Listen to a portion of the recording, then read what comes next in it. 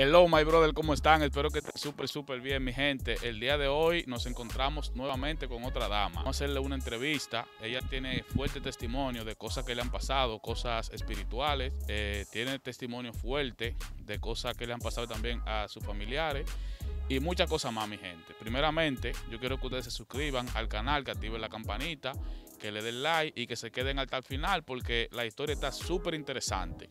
Entonces, no sé si usted quiere dar sus redes sociales para que la sigan y eso. En Facebook me encuentran como Yari Matos. ¿No tiene Instagram? También con el mismo nombre.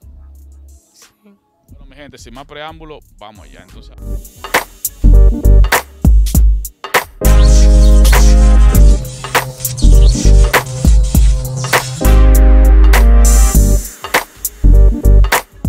Ok, ¿cuál es el nombre suyo?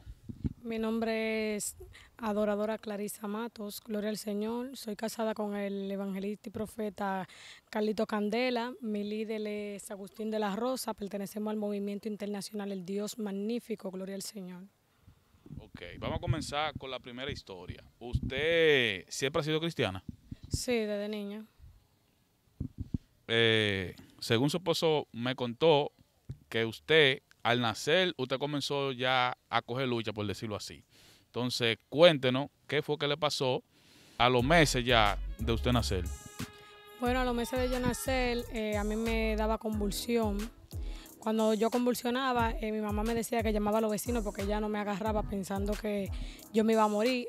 Y de tantas convulsiones que a mí me dieron, hubo un día que yo me morí en los brazos de ella y ella llorándole al Señor le decía al Señor que me devolviera la vida, que ella no iba a entregar a él y Dios me devolvió la vida de nuevo.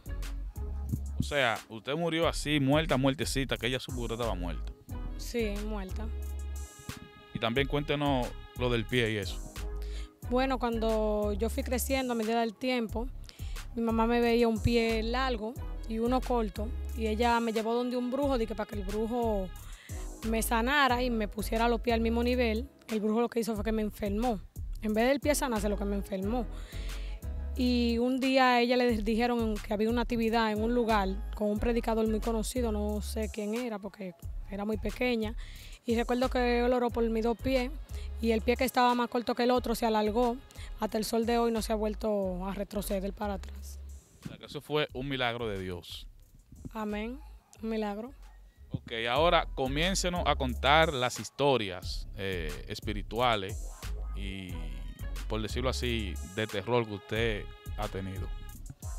Bueno, eh, un tiempo dado, ya yo siendo grande, como 10 o 12, recuerdo que el tío mío cayó con un espíritu de locura, él no era loco, y de repente se volvió loco, se tiraba de los techos, lo amarraban con cadena, ese hombre se soltaba de la cadena él salía, se le tiraba a los carros y nadie podía con él, dos hombres, con él no podían. Perdón, pero él tenía algún vicio o algo así. No, él no era vicioso. Él simplemente cayó así, como de la noche a la mañana, cayó con un espíritu de locura. Y él se le tiraba a los carros, el papá le caía atrás. Él se iba caminando a pie y llegaba en vivienda, a pie caminando. Sí. Él hacía muchas cosas raras y su otra experiencia? Bueno, mi otra experiencia fue que yo iba para el monte con mi mamá a buscar al Señor y recuerdo que cuando íbamos de camino, atrás de una jipeta había un hombre blanco, calvo, tirado atrás de la jipeta, desangrándose por la boca y por la nariz. Cuando mi mamá se iba a acercar, yo le dije, no te acerques, que ese hombre es un satanista. Ella no se le acercó. Lo que hicimos fue que le dijimos a mi hermano que no saliera porque él tenía planes de salir y no se sabe lo que podía pasar. Cuando volvimos de nuevo y pasamos por el mismo lugar, el hombre ya no estaba. Cuando llegaba al monte, había un caballo que se nos apareció, no se sabe si era normal porque se nos convertía de colores. Él cambiaba su color, cambiaba blanco, cambiaba amarillo, cambiaba negro. ¿Qué pasa? Que en la misma ronda, cuando uno va al monte a buscar al Señor y van en grupo, el grupo del grupo no pueden salirse tienen que estar todos unidos porque hubo uno que se salió del grupo y ese duró como tres horas reprendiendo ese demonio que, que era como quien dice un bacán en un caballo. Pero fue de noche eso, perdón. Sí, de noche. Cuando íbamos saliendo ya al amanecer, eh, cuando íbamos saliendo abajo de una mata, él estaba, había el mismo hombre que vimos desangrándose, estaba sentado debajo de una mata, le faltaban las dos, las dos patas de adelante a la silla y él estaba sentado pero con la cabeza hacia abajo y el caballo estaba al lado de él. Y nosotros salimos, había uno que se le quería pegar y yo le dije, no te le pegué, cuando viene a ver se te pega a ti, lo que él tiene. Y salimos y no miramos para atrás. Ok, ¿y por qué usted cree que usted tuvo esas experiencias? Bueno, según uno va subiendo de nivel, en el mundo espiritual uno empieza a ver cosas que tú se lo dices a una gente y la gente lo que va a pensar que tú estás loco. O sea, ¿y por qué usted cree que Dios le permite ver eso? Bueno, depende de la búsqueda, porque si uno está totalmente frío, uno no lo va a ver. Pero inmediatamente te empieza a buscar de Dios y Dios empieza a subirte de nivel, tú vas empezando a ver cosas. Dios te empieza a abrir los ojos espirituales. Y tú empiezas a ver cosas, tú empiezas a ver demonios caminando en la calle, empiezas a ver sombras, empiezas a ver muchas cosas. Que tal vez uno solo dice a un impío, el impío no lo va a entender. El impío va a decir, no, eso es mentira. Pero eso que ustedes ven, eh, ¿para qué propósito es? Bueno, el Señor por su misericordia nos permite ver para que nosotros atemos y, y reprendamos eso que estamos viendo, porque puede muchas veces eso atacarte o atacar a un familiar tuyo y hasta puede matarlo. Así. Otra experiencia fuerte que usted ha tenido espiritual. Bueno, yo he tenido más experiencia. Eh, recuerdo que un día íbamos por un silicio y el hermano mío se quedó, eh, se quedó, no quiso ir. Cuando él estaba acostado, eran como las 12 de la noche, se le apareció un personaje con un sombrero al lado de él, era negro entero. Y él, como no era cristiano, porque ya él fue nacido y criado en el Evangelio, pero según el tiempo y fue creciendo, se apartó, él lo que empezó a vocear del miedo Sí, así ¿Y cuánto tiempo tiene usted ya en el Evangelio? Bueno, yo tengo mucho porque yo fui nacida y criada. ¿Cuánto años tiene usted? Yo tengo 24. usted está joven todavía. ¿Y qué usted espera tener más adelante en el Evangelio? O sea, ¿cuál usted quiere que sea su progreso, por decirlo así? Bueno, mayormente que sea la voluntad de Dios y que Dios vaya cumpliendo el propósito de Él en nuestras vidas. ¿Cuál ha sido la parte más difícil de usted estar en el Evangelio? Bueno, la parte más difícil mía fue que luego que yo tuve el niño varón, que ahora tiene cinco años, recuerdo que yo di a luz una niña, yo le puse Estel Miguelina, se llamaba.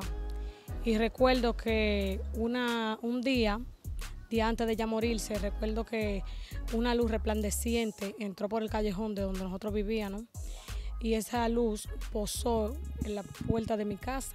¿Qué pasa? Que a los par de días nos fuimos a un velorio de un tío del esposo mío. Cuando vamos, a la niña se le pierde un zapato. Cuando estamos ahí en el transcurso, vamos, vamos a la casa y todo, era un domingo. ¿Qué pasa? Que el lunes en la madrugada la niña se muere. Cuando la niña se muere, eso fue una guerra hasta para yo llevarla para mi casa porque la gente de patología forense no quería que yo la llevara, que después de las 5 ya no entregaban cuerpo. Y yo le dije que no, que yo me iba a llevar la niña ese día. Cuando vamos de camino, que ya hubo guerra, hubo lucha para nosotros poder llevárnosla porque eran las 6 de la tarde ya y el, cuñado mío, el esposo de mi esposo, el hermano de mi esposo no hubiera llegado y esa gente estaban así, que, que no, que no me la iban a dar y me la dieron. Cuando me la dan, que vamos de camino, empezó como a jarinear. Cuando empieza a jarinear, en la guagua que yo iba, en el cristal se me representó, se me representó en la lluvia una carabela. Cuando se me representa la carabela, yo me quedé callada y seguimos en el camino. Cuando llegamos a la casa con la niña, la niña llegó a boca abajo, donde la acostamos boca arriba y llegó a boca abajo la sacaron de la caja y todo. Cuando ya la limpian, la meten en la caja de nuevo. El esposo mío estaba orando.